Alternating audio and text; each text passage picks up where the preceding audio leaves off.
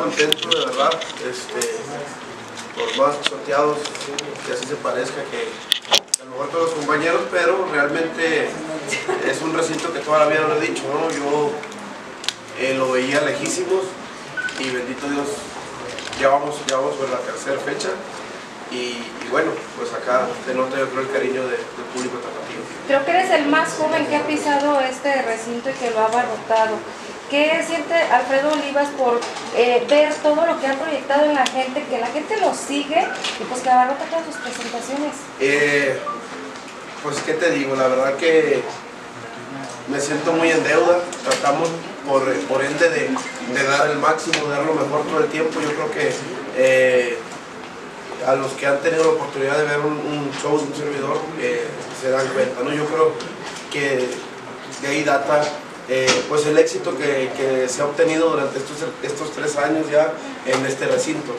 Este, entonces, pues, ¿qué te, qué te puedo decir? Eh, de antemano, creo que, por si no escucharon, sí dije buenas tardes, perdón, ya va encarregada la entrevista, pero buenas tardes, les agradezco infinitamente a todo el mundo que esté acá y, y bueno, yo creo que el nervio también, pues, eh, es, es, es de alguna manera imposible eliminarlo o es impredecible también, ¿no? entonces, ahorita estoy medio todavía este, haciéndome la idea, ¿no? Bendito Dios, eh, por más que, que el teatro ya esté todo vendido, el auditorio, pero pues quedan, queda ya lo, lo de nuestra parte, ¿no? O sea, el público ya cumplió. Ustedes, los medios, gracias, ya, está, ya están cumpliendo. Ahora viene la parte fuerte porque ya me toca cum- cumplir a. Bueno, también es idea de ambas partes, ¿no? Y por ahí también está involucrado eh, 95.5 es la mejor y desde luego la que bueno, ¿no? La frecuencia que eh, hemos tenido un apoyo, un ¿cómo decirlo? Yo creo que todo artista, ¿no? Eh, en algún momento se ve muy lejano el, el de repente hacer estas mancuernas tan maravillosas con, con una estación de radio.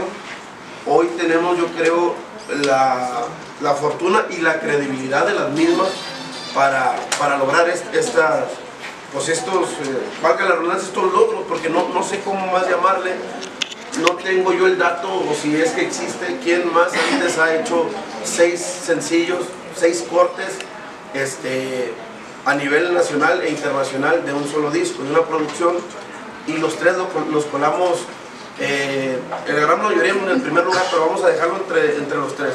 Ojo, no estoy haciendo alarde, pero, pero, pero bueno, me lo pide mi oficina que lo diga.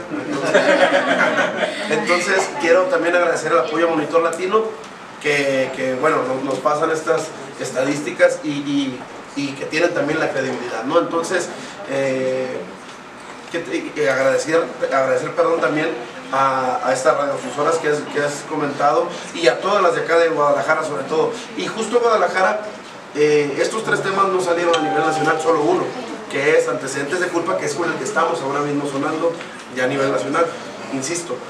Eh, pero acá de manera exclusiva se, soltó eh, y, y qué, que es un tema que le compuse a mi señora madre, que ojalá le sirva a todo el mundo para decirle, decirle de repente, ¿no? Y este, se soltó también la rueda de la fortuna, ¿no? Caso curioso que, que por más que a mí me gustó el tema, pues ya saben, ¿no? El tema de, de repente del veto.